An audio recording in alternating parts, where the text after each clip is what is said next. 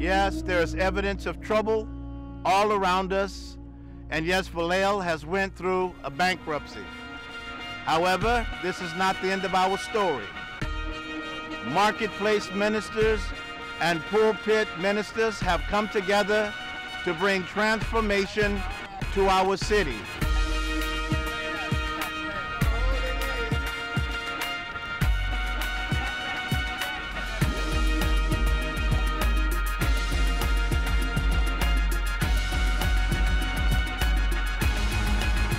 And this is our story.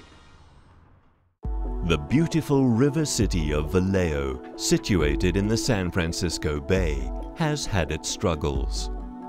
The decommissioning of the 100-year-old Mare Island Naval Base in 1996 left thousands without work and fueled economic and political discord. Stately homes were abandoned and the naval base on Mare Island has become an empty reminder of its former glory. Now, the houses behind me are, you know, used to be the Admiral quarters here on, on base, but now they're just vacant, you know, just waiting for transformation to happen. In 2008, Vallejo became the largest city in California to file for bankruptcy. But today there is evidence that transformation has begun, as a modern renaissance is beginning to stir in the city.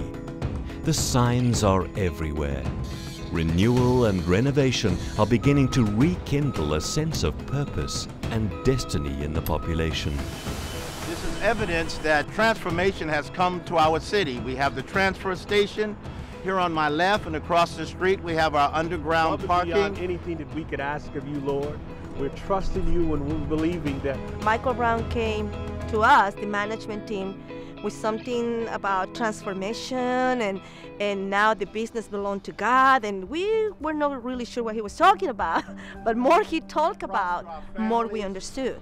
And then we found ourselves praying for our drivers at the exit of the yard. business provisions for our families provisions for our city this declaration has united many churches in the city and created an intentional alliance between business, education and government. Working together, these three streams are the arteries that lead to transformation.